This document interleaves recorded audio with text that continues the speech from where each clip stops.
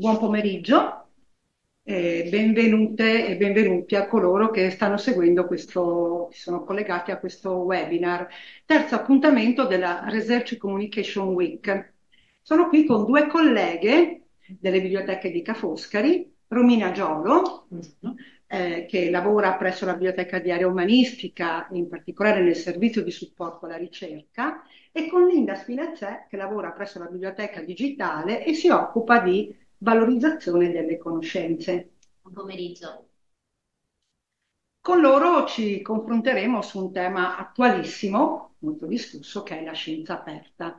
Io sono Daniela Grandin e nel corso di questo incontro, che sarà una sorta di dialogo, eh, non solo fra di noi, spero anche con coloro che stanno seguendo il webinar, eh, ci focalizzeremo sulle opportunità, sui pregiudizi anche sui falsi miti legati a questo argomento. Parlare di scienza aperta, sappiamo, è un tema attuale ma anche molto complesso ed è per questo motivo che abbiamo pensato di rappresentarlo con questa immagine, un alveare dove ogni cella rappresenta uno degli aspetti della scienza aperta. Quindi open data, la pubblicazione d'accesso aperta, open peer review, ehm, la, la, l'open research, ma ehm, insomma tante strade che dovrebbero portare a, ehm, all'apertura della, della pubblicazione, non solo, ma anche del processo di ricerca, per favorire la libera diffusione non solo all'interno della comunità accademica, ma anche di tutta la comunità, perché la scienza è un bene comune, appartiene a tutti e eh, l'open science non è caso, è, stato, è una delle raccomandazioni dell'UNESCO sulla scienza aperta, rilasciate nel 2021, eh, che ha lo scopo proprio di eh, rendere la scienza più accessibile ed equa. Quindi, Linda, Open Science, why not? Allora, la scelta di questo titolo ehm, dipende un po' da... Ehm, abbiamo pensato che questa espressione dubbiosa, concessiva, rispetto a un'offerta allettante, di solito il cameriere a fine di una, un buon pranzo ci chiede eh, caffè, dolce e, e, se ne valutano gli aspetti eh, di soddisfazione, ma anche le ricadute negative, troppi zuccheri, troppa caffeina. Di fronte alla scienza aperta, che dovrebbe essere, come scriveva John Tennant, l'unico modo di fare scienza, perché accelera l'innovazione, perché promuove l'inclusività, perché riduce i costi, evitando la duplicazione di esperimenti, per esempio, e perché condivisa e fortemente voluta anche dai contesti internazionali, come appena ricordato eh, prima tra tutte l'UNESCO. Ecco, tutto, tutti questi aspetti positivi della scienza aperta eh, restano legati a una prospettiva eh, generale, quasi teorica, di cui tutti ci diciamo a favore, ma da una prospettiva pratica, il singolo ricercatore che deve rispondere anche a differenti impulsi quotidiani non trova così alla mano principi, azioni e pratiche dell'open science, perché richiedono una differente organizzazione del lavoro rispetto alla tradizione, richiede la conoscenza di strumenti e piattaforme specifiche, la consapevolezza di aspetti non secondari che spaziano, che spaziano dal diritto alla privacy al diritto d'autore, aspetti economici di sostenibilità. Tutti argomenti che in questa nostra chiacchierata cercheremo di eh, toccare, dando l'idea della complessità del quadro della scienza aperta. E quindi da bibliotecari che vogliono supportare il modello di scienza aperta dobbiamo fare in modo che gli studiosi, di fronte all'approccio dell'open science, imposto da un progetto finanziato o proposto da un collega, rispondano why not? Open science, why not? Quindi un bel auspicio, eh, Linda. Poi, nella pratica di tutti i giorni, come sarà la risposta del eh, ricercatore? Quindi mi rivolgo a, a, a Romina, che incontra eh, studiosi nella sua pratica quotidiana, quotidianità del suo lavoro. Quando e per quali motivi il ricercatore si rivolge a voi quando hanno bisogno di avere informazioni sulla scienza aperta, diciamo? Mm, Per quella che è la mia esperienza di lavoro, ehm, i quesiti, le domande, ma anche le preoccupazioni dei ricercatori, vertono, riguardano due aspetti fondamentali, almeno quelli che ho registrato finora. Il primo è relativo al, al cosiddetto data management planning, quindi eh, i ricercatori che sono beneficiari di un grant, che hanno superato appunto una, una selezione, che hanno un progetto finanziato dall'Unione Europea, sono preoccupati di come gestire i dati che andranno a supportare poi eh, la- le loro pubblicazioni, le pubblicazioni finali. Quindi come gestire questo processo dei dati in questo documento che loro sono tenuti a, um, a redarle, a scrivere, a stendere a sei mesi dall'inizio del progetto quindi in una fase ancora, diciamo così, embrionale. Questo è un problema eh, molto sentito, anche perché eh, va a toccare, impattare su aspetti anche appena chiamati, chiamati da, da Linda, aspetti di privacy, eh, di dati sensibili, e quindi voglio dire, pone il ricercatore di fronte anche a tutta una serie di, magari di, eh, di quesiti nuovi per lui semplicemente. Questo è l'aspetto, diciamo, del, del data management plan. Dove posso io, ricercatore, depositare i miei dati, quali depositori? Repository istituzionale, il mio istituto, il mio ateneo ce l'ha, non ce l'ha, o, o posso invece, non so, vertere su un altro tipo di, di piattaforma multidisciplinare. Quindi questo è un po' l'aspetto. Quali dati devo inserire? Perché sembra banale, però alle volte il dubbio è proprio che cos'è un dato, che cos'è il dato della ricerca, che cosa vale la pena di depositare, che cos'è. Quindi questo diciamo un po' una, una prima branca. La seconda invece è, è quella relativa alle pubblicazioni.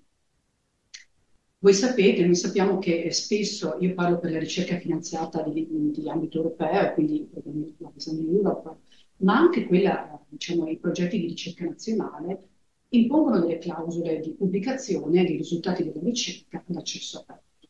Ecco, quindi il ricercatore dice io dove posso pubblicare per essere conforme, per allinearmi a quelli che mi viene richiesto dai bandi di finanziamento.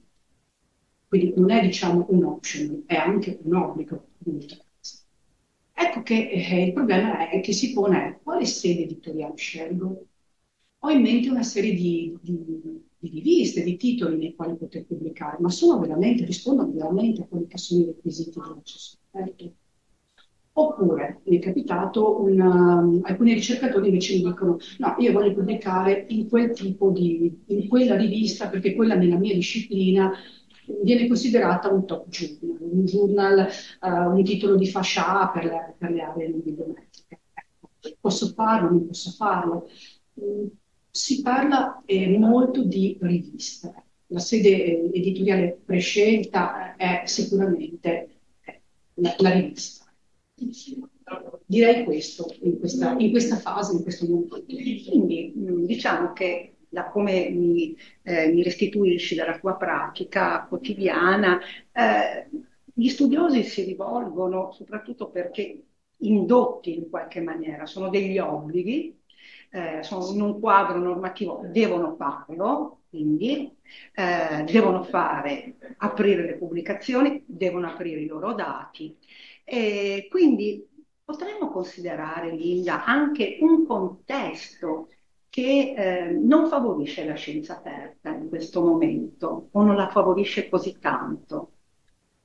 Sì, siamo in un momento di transizione, appunto, dove spesso il ricercatore è un po' eh, schiacciato da- dal- dalla tradizione eh, che gli propone una serie di eh, riviste e pratiche, appunto con delle riviste ehm, di eccellenza ehm, che sono, eh, che sono eh, che dipendono da delle metriche bibliometriche che appartengono, diciamolo pure, un po' al passato, perché ehm, eredi di un sistema basato eh, sulla carta e, e sulle missive postali, dove appunto eh, quindi dove l'editore aveva un ruolo fondamentale proprio per questo, eh, per questo suo essere il canale di comunicazione. Il mondo digitale ha cambiato, ha cambiato tutto e il movimento dell'open access sta cercando di forzare la mano, di,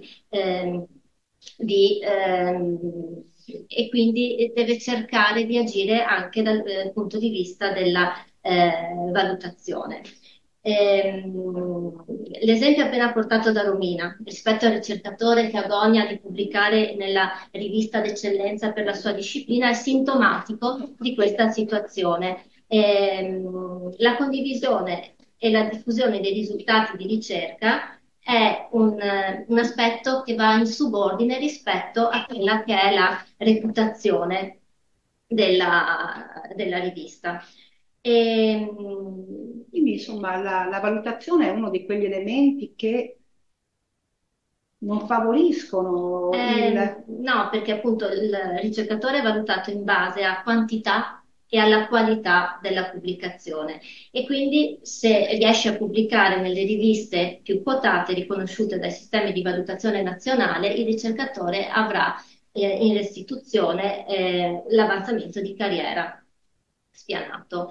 E, e, quindi da questo punto di vista l'attuale contesto accademico, ehm, per certi versi con i progetti finanziati europei e nazionali che impongono l'open access, spingono il ricercatore ad aprirsi verso l'open access, però diciamo che il sistema editoriale non è ancora così accogliente e Accogliente è un bel termine, diciamo che però ci sono anche forse dei segnali di cambiamento, anche le università che cercano di fare pressione per fare, ehm, attuare dei cambiamenti nella valutazione. Ricordiamo Coara, che è stata lanciata poi nel 2020, alla fine del 2022, che è la coalizione promossa dall'Unione Europea per superare una valutazione esclusivamente bibliometrica a favore invece di una, um, di una valutazione incentrata, di una ricerca incentrata sulle pratiche della scienza aperta. Uh, a Coara hanno aderito moltissime università, tra cui anche l'Università Ca' Foscari di Venezia,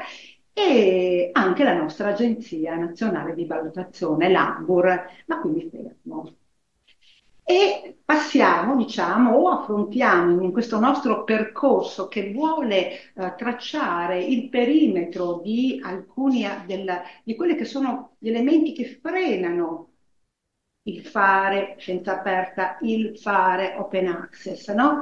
Anche la qualità. No, c'era un pregiudizio sulla, sulle riviste, sulle pubblicazioni ad accesso aperto come ehm, pubblicazioni non di qualità. Ma è ancora così, Linda, in effetti? Allora, eh, diciamo che le riviste open access sono molto più giovani delle riviste eh, commerciali eh, di cui abbiamo accennato prima, e quindi mancano di tradizione molto spesso, devono costruirsi un nome e una reputazione. E, ehm, ad oggi non è sensato parlare di mancanza di qualità nelle pubblicazioni open access, dal momento che vengono applicati o gli stessi modelli di revisione tra pari vigenti nelle eh, riviste tradizionali, di solito una valutazione eh, esterna e anonima dove l'unica figura che conos- a conoscere l'identità di autore e revisori è il redattore, o vengono addirittura sperimentati nuovi modelli di revisione tipici delle pubblicazioni ad accesso aperto, si tratta del modello Open Peer Review, in cui autore e revisori instaurano un dialogo e una discussione costruttiva. Tra tutta la letteratura sul tema, ehm, ci piace mostrare qui un estratto da un recente articolo di un team di ricerca spagnolo. Questo studio del 2023 ha analizzato oltre 17.000 pubblicazioni che avevano ricevuto delle segnalazioni di problematicità nella piattaforma PubPeer, eh, questa piattaforma è nota per essere una delle community che più ha smascherato le frodi e le manipolazioni dei dati in articoli scientifici. I ricercatori di questo articolo, tra le tante osservazioni fatte grazie alla grande massa di dati raccolti, sottolineano come nelle riviste che usano metodologie di revisione pubblica tra pari, tipologia di revisione che è il modello dell'Open Access Publishing, vi siano meno casi di manipolazione e frodi. Quindi, ritornando alla questione della qualità, dopo oltre vent'anni il movimento dell'accesso aperto vi sono ormai molte riviste open access che sono entrate nelle liste di eccellenza di cui parlavamo sopra e quindi ormai hanno una buona reputazione al, pari, al pari di costosi periodici commerciali e a volte anche di più. E qui la questione della misura della qualità dipende spesso molto anche dall'ambito disciplinare. Spesso certi ambiti iperspecializzati, soprattutto eh, nelle discipline di tipo storico-umanistico, hanno come editori di riferimento case editrici non prettamente accademiche e quindi estranee ai meccanismi di valutazione e condivisione della ricerca. E in questi ambiti viene in aiuto come un'opportunità di eh, spinta di, a favore della transizione verso la scienza aperta il modello delle eh, Open University Press come quella di Ca' Foscari. Alle edizioni Ca' Foscari. Eh, diventa prezioso per un ricercatore avere a portata di mano delle riviste, delle collane referate in un ambiente dove il processo di verifica editoriale è dettagliatamente dichiarato, trasparente e gestito da comitati editoriali di altissima qualità e dove la priorità è la diffusione e la cultura della condivisione dei risultati di ricerca. Quindi un modello che si sta sempre più diffondendo, visto anche appunto la nascita di molte, lo sviluppo di molte university press eh, legate alle, alle università. Eh, però rimane sempre sul piatto di una resistenza, di un contesto che forse non facilita o forse eh, rende più mh, oneroso. Qui apro il tema dei costi, cioè fare open access ha dei costi, a volte dei costi notevoli. Eh, Romina, a questo proposito, conoscendo che sappiamo che è un tema molto delicato, ma cosa ci puoi dire? Sì, confermo rispetto anche ai punti toccati prima da Linda, eh, che quello dei costi è un, un, ulteriore tassello che si unisce un po' alle, alle resistenze in fatto all'accesso aperto. Eh, nel senso che spesso eh, pubblicare d'accesso aperto comporta dei, dei costi che, che ricadono su, su chi pubblica, sull'autore. E che cosa vanno a coprire poi questi costi? Sono quelli relativi proprio alla, ai costi di pubblicazione, quindi mantenere una piattaforma editoriale, pagare un, un team, un, un, gruppo che contiene, che lavora questa piattaforma, sono dei costi che gli editori appunto a fronte. Um, tecnicamente si paga diciamo, sia per pubblicare un articolo, si parla in questo senso di EPC, sia si può pubblicare un, un, libro, quindi una monografia, un testo più lungo, eh, cosa facile che accada nelle, discipline umanistiche, e anche in questo senso può essere richiesto il pagamento appunto di un contributo, proprio di una fee, oppure addirittura a livello di singolo capitolo, ehm, presente per esempio all'interno di una miscellanea, all'interno appunto di atti di convegno che scrivono più, più soggetti. Um, il, il, discorso dei costi è molto variabile, dipende appunto da editore a editore, eh, dipende all'interno di uno stesso editore anche da titolo a titolo e spesso loro lo dichiarano, eh, gli editori lo dichiarano nelle loro piattaforme, nei loro siti editoriali. Quindi il ricercatore da una ricerca, diciamo così, anche in maniera autonoma, può capire quanto gli verrebbe costare ehm, pubblicare con quel determinato editore. C'è da dire però una cosa, ecco, che una volta um, rilasciato il capitolo, il libro, l'articolo ad accesso aperto, questo diventa l'accesso aperto per tutti. Eh, per tutti significa non solo per i membri dell'istituzione, dell'università che ha sostenuto quei costi, ma aperti veramente alla, alla comunità, a tutta la comunità. E questo è un aspetto sicuramente eh, molto positivo io che mi occupo anche di, di, di riviste, di abbonamenti delle riviste, vedo di anno in anno quanto del, del budget di, una biblioteca se ne va in qualche modo per, per rinnovare i, titoli che abbiamo in abbonamento. Noi abbiamo per esempio più di 500 titoli in abbonamento e se non rinnovassimo questo abbonamento i nostri utenti, la nostra comunità scientifica non potrebbe accedere a quei contenuti. In questo caso il paradigma è veramente differente. Quindi aperto, aperto per tutti, questo è un dato da sottolineare. Quindi il tema del, del costo e della sostenibilità dei costi considerevole, è un aspetto centrale rispetto anche alla diffusione di un accesso aperto, qui parliamo di pubblicazioni, parliamo di pubblicazioni in prevalenza, quindi di riviste prevalentemente e anche eh, di monografie.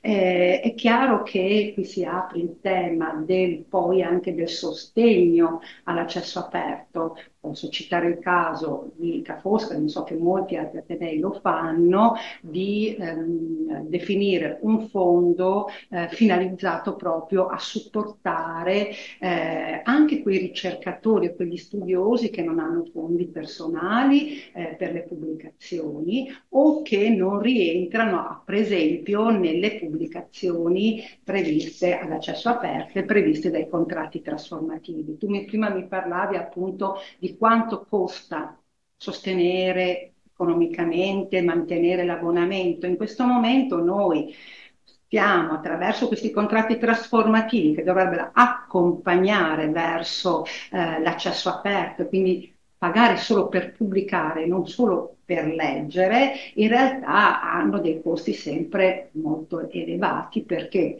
eh, perché paghiamo per leggere, ma paghiamo anche per pubblicare in quelle riviste che, eh, di cui paghiamo anche l'abbonamento. Diciamo è un percorso si spera, è auspicabile, è un percorso necessario, si pensa ad altri modelli, si stanno studiando altri modelli, perché l'arrivo è quello di quello che vengono chiamate, diciamo, le riviste gold, che nascono ad accesso aperto, quindi io pago solo per pubblicare, cioè le spese di pubblicazione, quelle che prima appunto ricordavate della piattaforma, tutta la, la questione poi della, delle parti editoriali.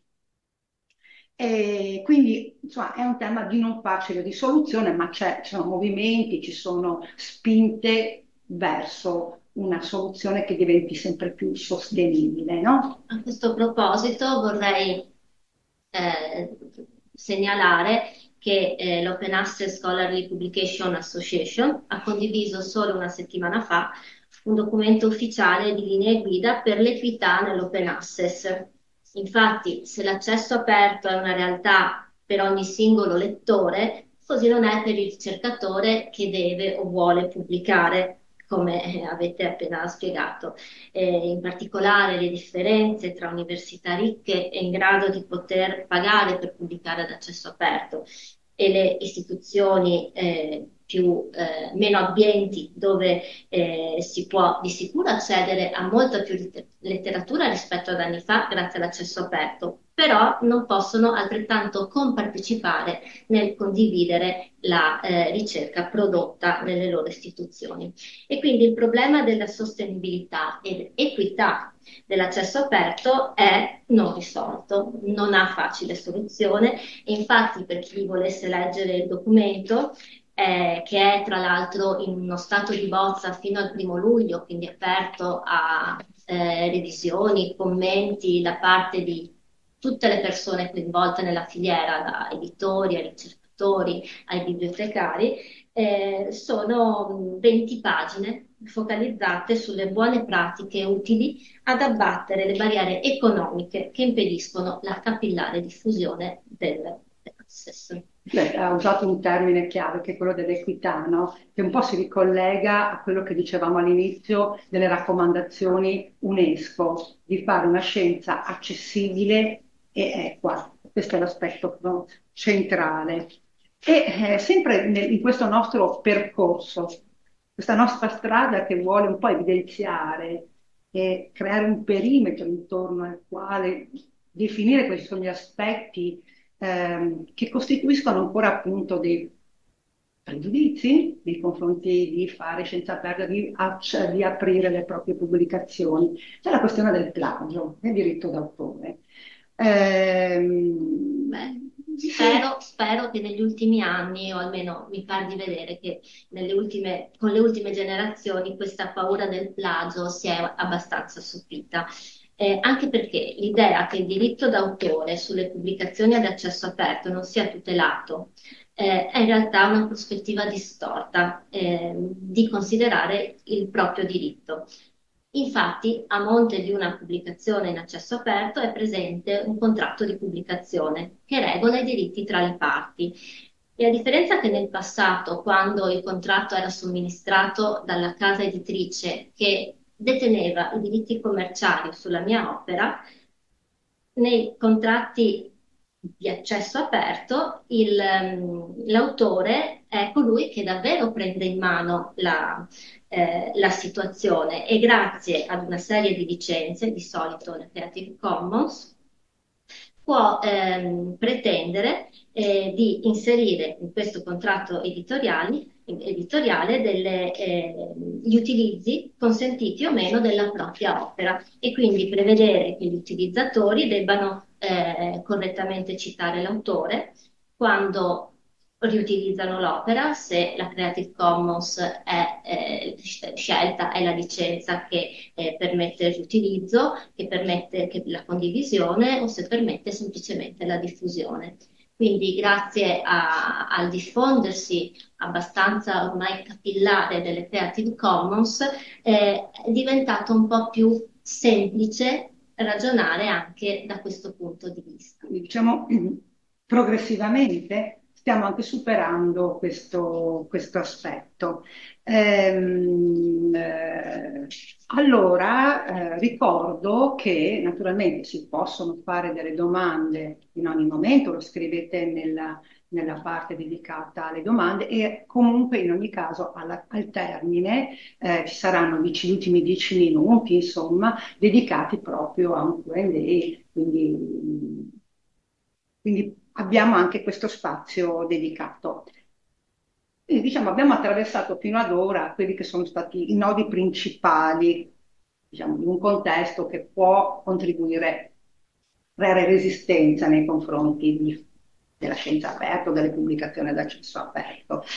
Abbiamo parlato soprattutto di pubblicazioni, però in realtà per fare scienza aperta ci vogliono anche degli strumenti, ci vuole un contesto appunto e anche delle infrastrutture che consentono di praticare la scienza aperta, di praticare l'accesso aperto.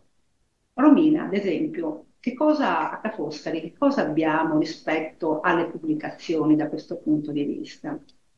Allora, abbiamo ehm, il ARCA, il repository istituzionale appunto cosiddetto archivio della ricerca di Foscari, che l'Ateneo mette a disposizione della propria comunità scientifica proprio perché il deposito, parliamo sempre appunto di pubblicazioni, è una delle, delle vie, de, anche dei, dei, metodi pratici con i quali poi poter fare accesso aperto. No? Quindi eh, coloro che sono affiliati di Ca' Foscari ehm, depositano assieme a una sorta di carta d'identità della pubblicazione anche una copia digitale del documento che hanno, che hanno appunto prodotto. Um, questo, questo, repository per, per Foscari esiste dal 2014, quindi è, diciamo, c'è un po' di storia alle spalle. E, e, nonostante questo io mi, mi ricollego un po' a una delle domande da cui sono partita, che c'era una nostra assegnista, la quale appunto diceva io devo popolare il mio profilo. Devo. Devo. Infatti avevo sottolineato questo aspetto perché a proposito di visioni indotti c'è sempre questo senso del, dell'adempimento. Mi trovo a dover fare questa cosa, eh, non sono, mh, mm, chiedo un supporto. Allora, ehm, è tipico soprattutto de, de, de, dei ricercatori nelle prime fasi della loro appunto, carriera eh, di non conoscere questo strumento, di non capire neanche bene perché bisogna poi depositare lì, visto che magari ci sono anche i social tipo Academy.edu, ResearchGate, eh, non a caso questa, io sono po' a vedermi questa, questo profilo e la ricercatrice aveva popolato il, il, il profilo su Academy.edu, ma eh, il corrispettivo profilo delle pubblicazioni in arca non comprendeva molto nessun, nessun documento, né articolo, né capitolo, e questo secondo me la dice lunga anche in, in chiave di, di consapevolezza. Mm, è proprio un, diciamo, un, un, tema molto diffuso, assolutamente. Allora, eh, anche qui possiamo lavorare anche sulla sensibilizzazione, al di là del fatto eh, dei ricercatori che sono vincolati, ripeto, dal proprio programma di ricerca a depositare l'accesso aperto, anche tra coloro che non lo sono, si può lavorare in questo senso facendo, sottolineando l'aspetto che si tratta anche proprio di un'opportunità. Eh, un'opportunità di far conoscere la propria produzione, eh, di, farla, di esporre il più possibile, perché noi sappiamo che eh, i, i item, i titoli poi vengono appunto esposti anche nei motori di ricerca, quindi ricercabili in maniera molto intuitiva, molto veloce, molto così. Questo ovviamente ha un, un impatto anche dal punto di vista citazionale, più, più vengono letti i titoli, più hanno la possibilità di essere nominati, citati, anche confutati, perché no? Però tutto va in, in termini appunto di eh, visibilità, di disseminazione della c'è la necessità quindi di un'alfabetizzazione poi sì. rispetto a certe tematiche che noi diamo, potremmo dare anche per scontate che vengano conosciute o che siano conosciute. Assolutamente, e, e dirò di più, eh, diciamo che il deposito inizia proprio dalla, dalla, dal primo prodotto della ricerca che, che se vogliamo è la tesi di dottorato. Al momento le tesi di dottorato per noi a Ca' Foscari sono depositate in un altro archivio, in un altro depository, ma a breve confluiranno appunto all'interno di ARCA e quindi saranno visibili anche, anche da noi. Quindi in questo senso si può anche, diciamo così, lavorare mh, su questi aspetti, anche perché appunto stessa, lo stesso repository, lo stesso archivio istituzionale ehm, conferma Open Air e quindi diciamo attraverso Open Air espone i dati anche a Etopia.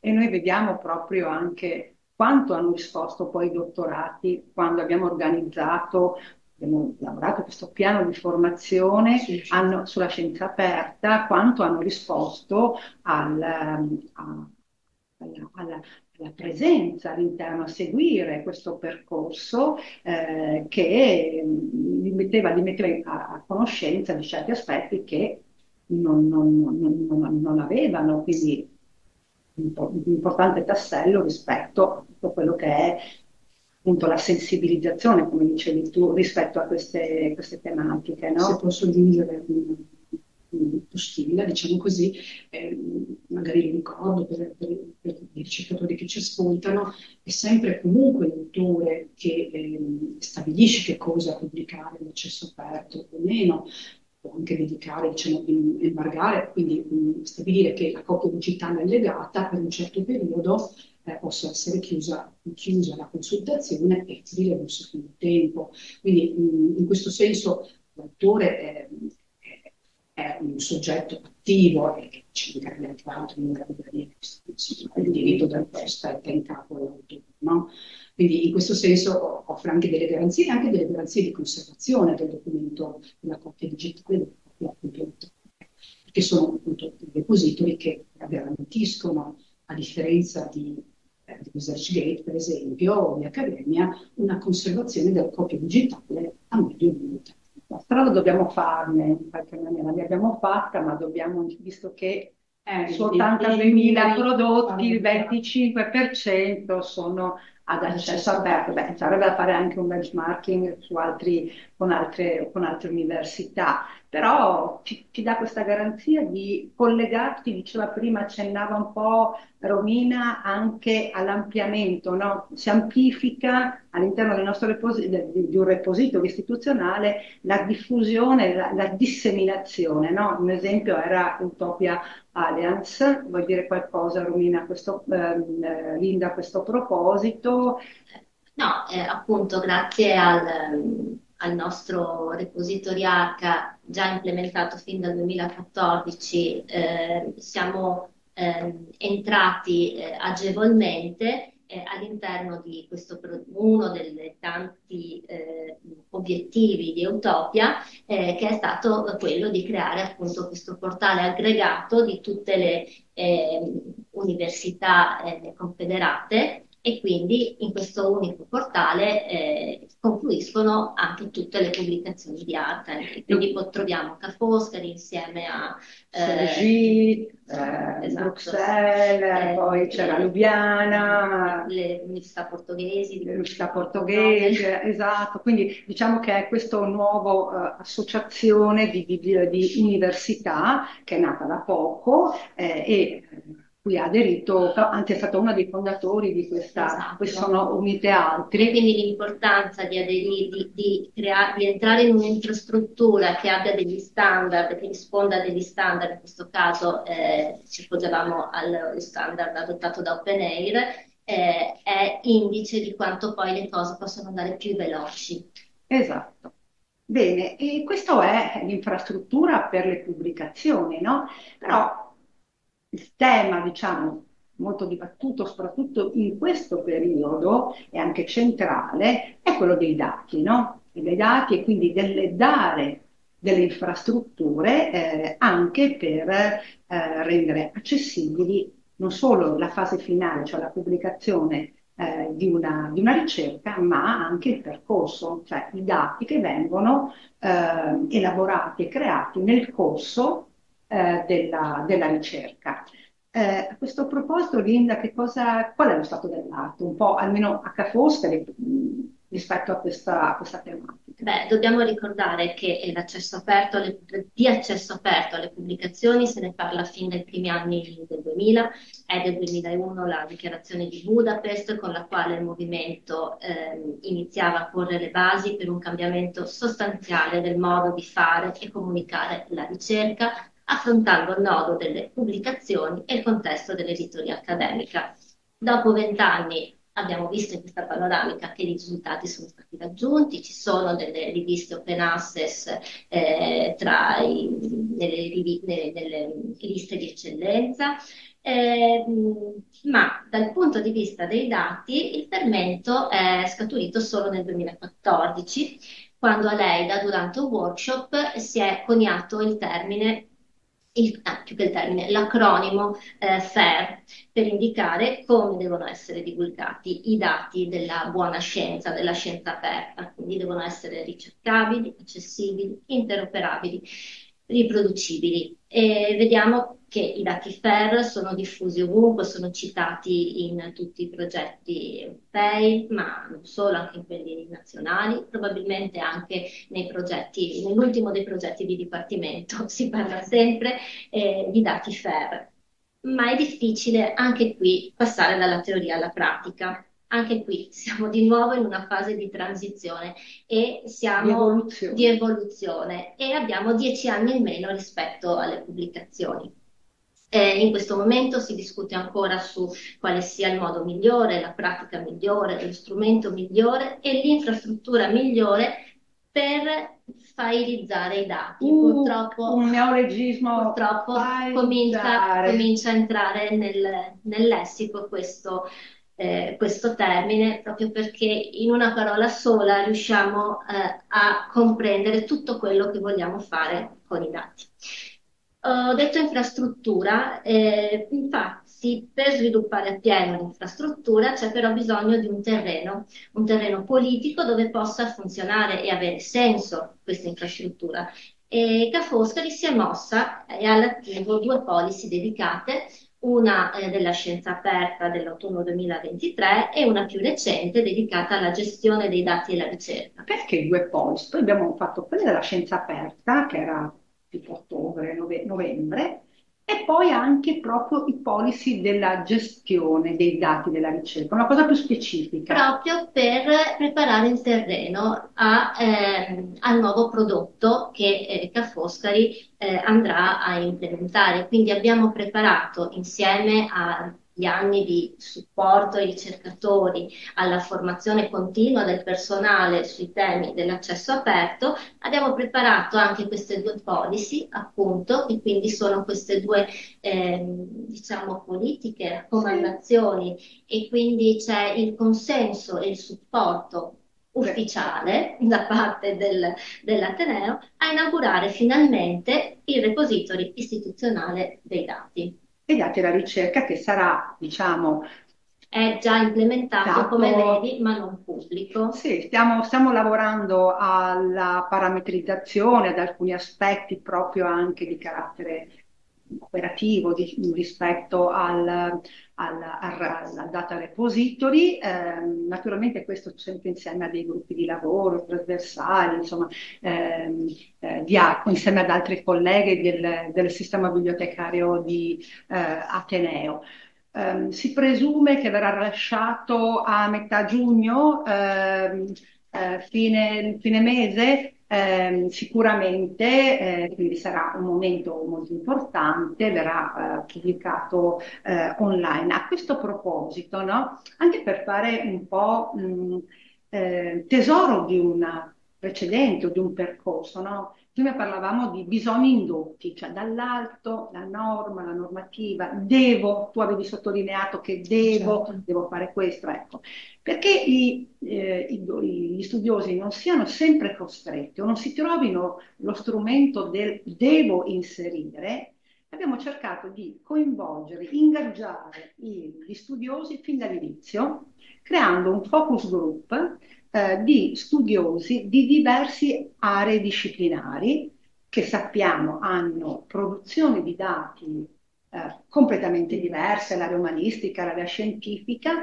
eh, perché possano collaborare insieme con la parte, diciamo, biblioteconomica eh, a um, a implementare un, un, un, repository che venga uno strumento che venga effettivamente utilizzato, non solo perché devo, perché ho, ma perché ha un valore anche che lega, lega al concetto, all'etica della, della scienza aperta. Quindi poi vi sapremo dire come va, magari in un prossimo incontro, noi speriamo assolutamente, eh, assolutamente eh, eh, bene. Eh, quindi si chiude un cerchio.